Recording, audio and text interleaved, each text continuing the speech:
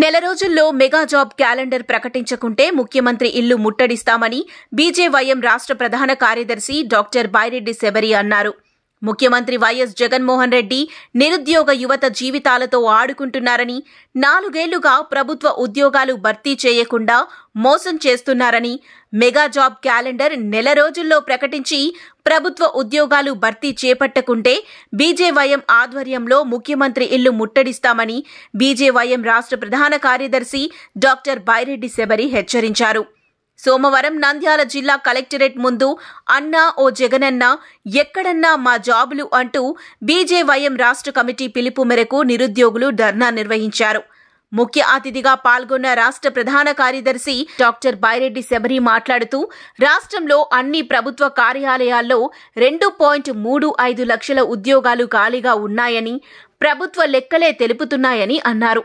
ప్రతి జనవరిలో job calendar విడుదల చేసి ఉద్యోగాలు భర్తీ చేస్తామని జగన్మోహన్ రెడ్డి హామీ ఇచ్చి ఓట్లు దండుకొని ముఖ్యమంత్రి అయి నాలుగేళ్ళు గడుస్తున్నా హామీ నెరవేర్చలేదని వాలంటీర్ జాబుతో నెలకు ఐదు వేల రూపాయలతో వెట్టి చాకిరీ చేయించుకుంటున్నారని విమర్శించారు.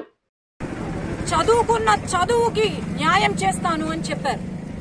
ఈ రోజు మెగా జాబ్ మేళా అని పెట్టి చదువుకున్న చదువు ఎంబీఏ ఇంజనీరింగ్ ఎంసీఏ చదువుకున్న వాళ్ళు ఈ రోజు లక్ష యాభై వేల మంది ఆ రోజు మెగా జాబ్ మేళాలో రిజిస్టర్ చేసుకుంటే ఓపెన్ చేసి చూస్తే సెక్యూరిటీ గార్డ్లగా ఆయమ్మలగా లేకపోతే వాచ్మెన్లగా ఉద్యోగాలు కల్పించారు.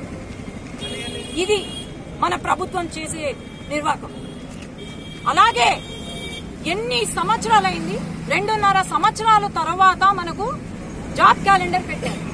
ఈ సంవత్సరం జాబ్ క్యాలెండర్ ఇంకా విడుదల చేయలేదు. ప్రతిసారి అడుగుతూనే ఉన్నాం ప్రతి సంవత్సరం యువత రోడ్డు పైన అడుక్కుంటే అడుక్కునే పరిస్థితి వచ్చింది. ఈ రోజు ప్రభుత్వ ఉద్యోగాలు లేవు ప్రైవేట్ ఉద్యోగాలు లేవు. ప్రైవేట్ ఉద్యోగాలంటే కంపెనీలు లేవు పరిశ్రమలు లేవు. మన ఐటీ శాఖ మంత్రి గారేమో మరి ఆయన గుడ్డెప్పుడు పెడతాడో ఆ గుడ్డు నుంచి బయట కోడిపిల్ల ఎప్పుడు వస్తుందో గాని గుడ్ల గురించి మాట్లాడు మాట్లాడతాడు తప్ప ఇంకా వేరే దేని గురించి మాట్లాడు? ఎంతసేపు మన రాష్ట్రంలో రాజకీయము కేవలం కోడి కత్తి కోడి గుడ్డు తప్ప ఏమీ లేదు.